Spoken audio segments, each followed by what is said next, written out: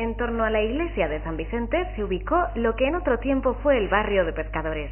Lo que hoy es una animada zona de Endaya fue en su día el lugar donde se centró la vida de la gran mayoría de los endayeses que se dedicaban a la pesca.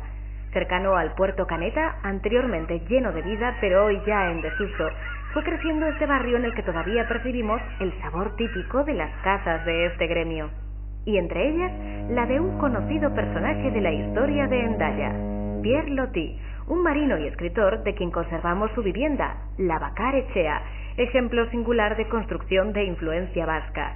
Entre las estrechas callejuelas del barrio y las vistas de la bahía en la zona del puerto, se puede disfrutar de un entorno singular que mantiene viva la esencia del viejo Endaya.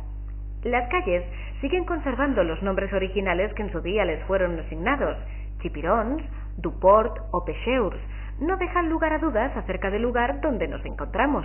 Continuaremos bordeando el Vidasoa, donde veremos los restos de la antigua muralla de la villa y la parte más alta de Endaya, el monumento a los caídos de las dos guerras mundiales.